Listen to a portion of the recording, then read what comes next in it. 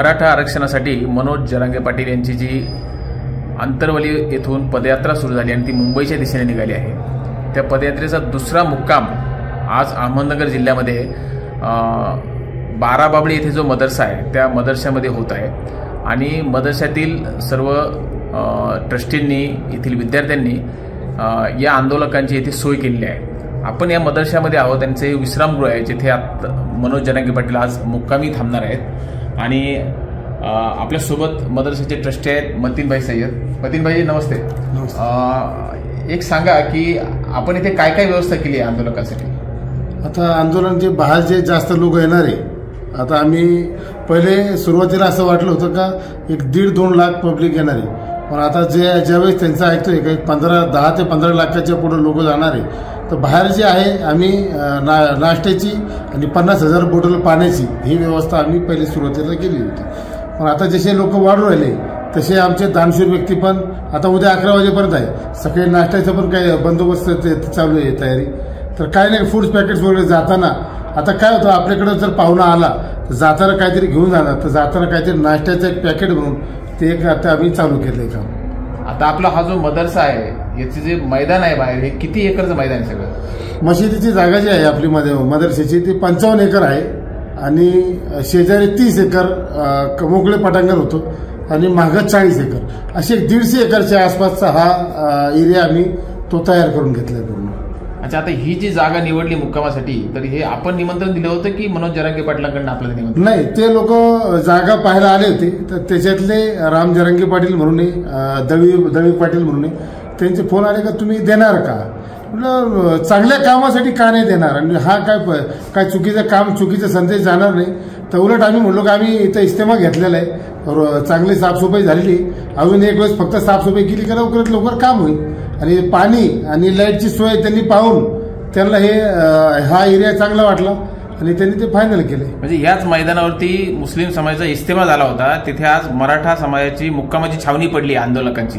हे एक महत्वाचं वैशिष्ट्य आहे. आणि आम्ही बघतोय मैदानावरती तर आपले मदरशातील मुलं सुद्धा स्वयंसेवक म्हणून उभे आहेत.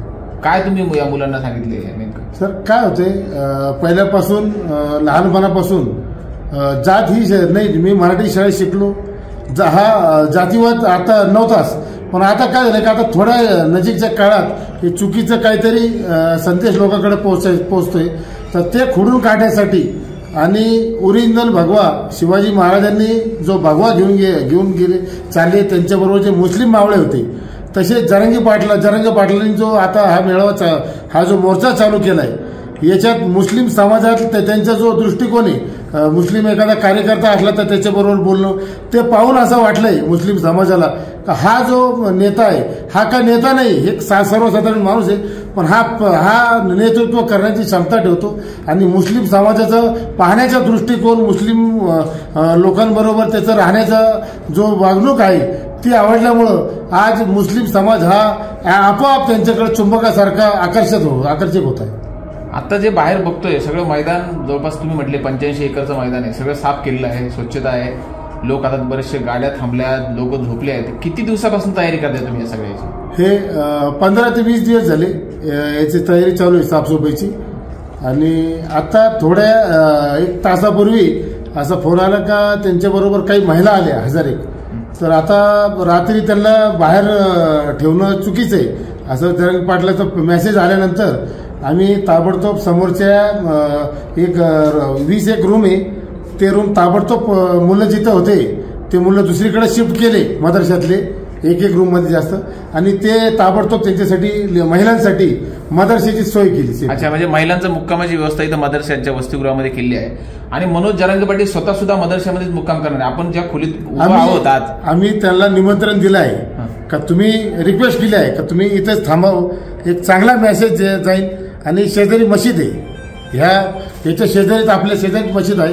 त्याच्यामुळं मी म्हटलं इथं चांगलं तुम्हाला थांबायला योग्य ठिकाण आहे. आम्ही रिक्वेस्ट केली आहे. थांबले तर फार चांगले. त्यांच्या त्यांच्या ते शेवटी त्यांच्या मनावर आहे.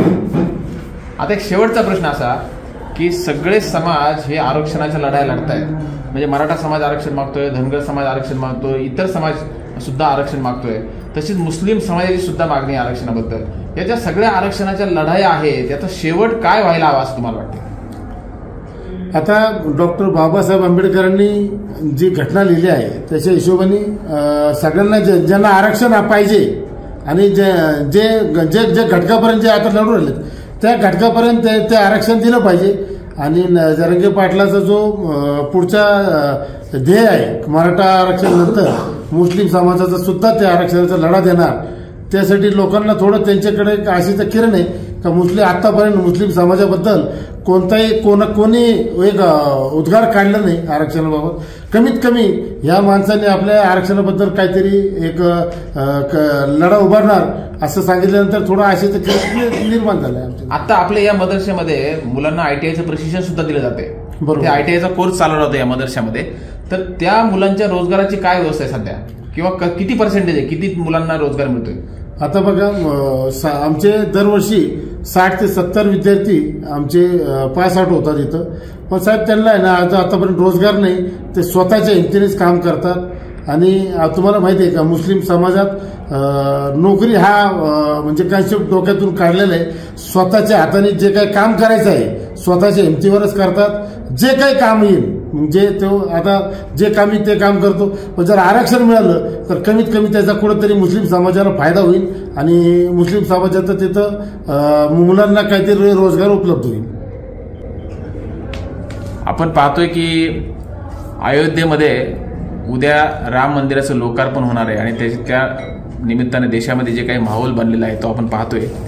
त्या पार्श्वभूमीवरती अगोदरच्या रात्री मनोज जरंगे पाटील यांचा मुक्काम एका मदरशामध्ये आहे. आणि येथे हिंदू मुस्लिम ऐक्याचा एक वेगळा अनोखा असा प्रयोग दिसतो आहे.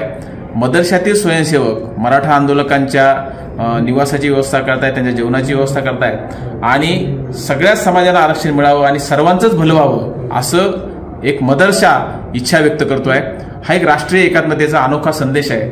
तो या आंदोलनाच्या निमित्ताने पाहायला मिळतोय. धन्यवाद.